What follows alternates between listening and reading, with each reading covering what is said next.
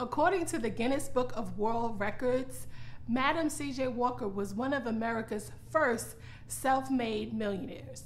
But did you know that there were others, some of whom were Madam Walker's predecessors?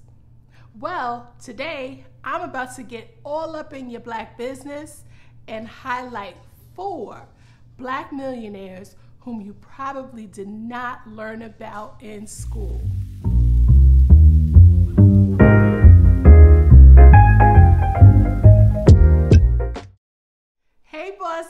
It's Dr. B, your favorite business doctor. Welcome to the channel where business and history meet up every single week. First things first, if you find this content to be informative, please go ahead and smash the like and subscribe buttons. Also, feel free to comment. I promise you that I read every single comment and enjoy responding to them. Okay, let's get started. So, many of us are familiar with Madam CJ Walker. Even if we didn't learn about her in school, her story has resounded based on the degree to which she pioneered the beauty industry. In addition, her story was recently chronicled in the 2020 movie Self Made. Let me be clear Madam CJ Walker has earned every single accolade directed at her. However, she was a member of a whole group of millionaires of which she was not the first to achieve millionaire status. Often untold are the stories of other black millionaires, some of whom survived enslavement and through grit and moxie blazed trails for themselves and others. Today, I'm delving into the lives of four remarkable black millionaires.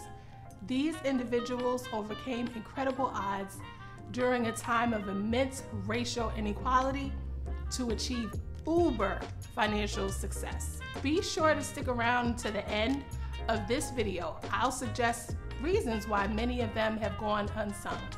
Number one, William Alexander Leidesdorff. William Alexander Leidesdorff was born in 1810 in what is now the U.S. Virgin Islands. He is known for his contributions to the early development of California, particularly during the Mexican American War and Gold Rush eras.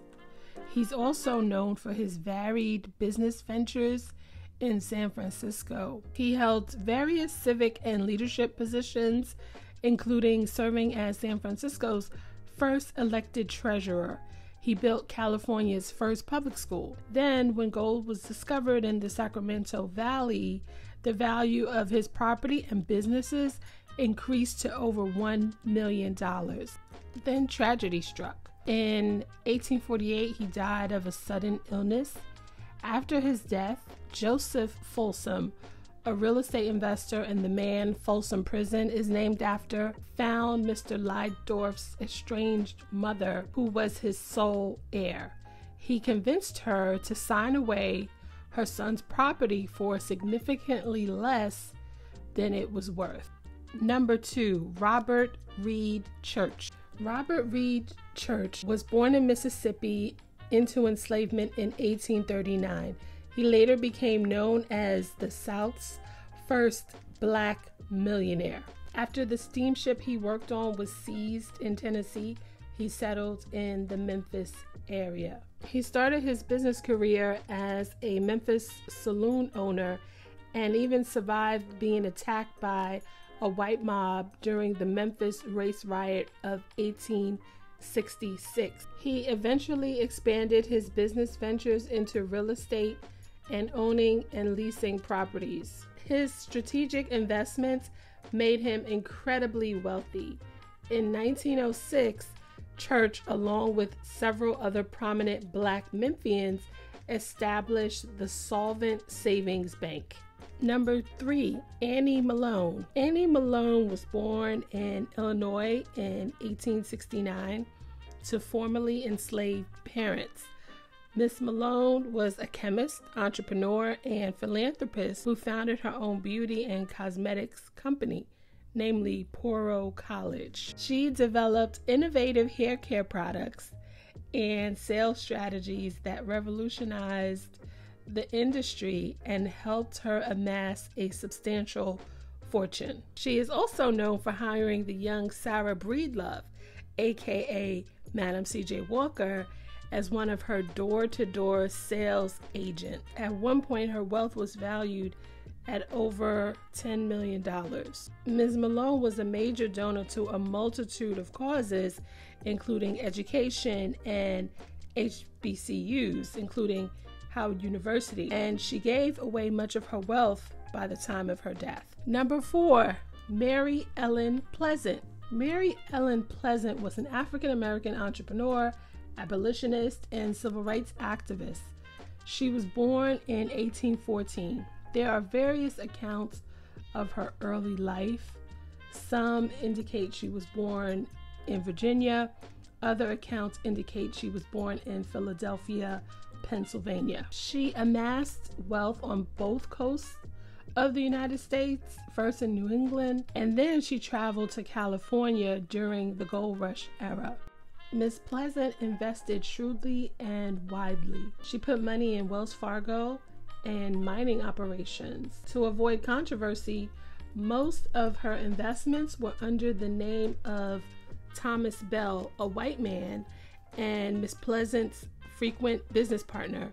Together, they amassed some $30 million by winning a landmark suit against San Francisco's streetcar system.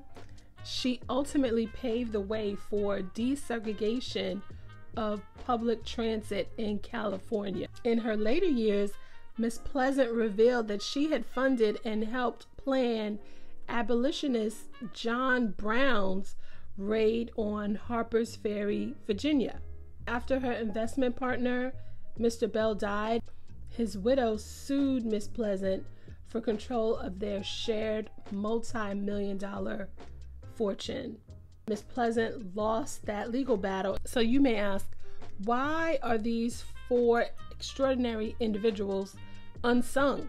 Well, we have to remember the environment at the time. Widespread, virulent, and codified racism led to the black elite being attacked, demonized, and even swindled out of their wealth. Therefore, many adopted covert practices such as using white proxies to p- perform financial transactions to avoid being excluded based on race. In addition, many kept their wealth a secret until they were outed. For example, Mary Ellen Pleasant portrayed herself as a housekeeper and a cook long after she was wealthy. But Madam C.J. Walker was different. She was bold, she was brash, and she was fearless.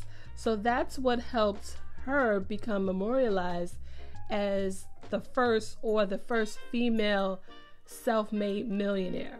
Her explicit displays of wealth helped her earn that title.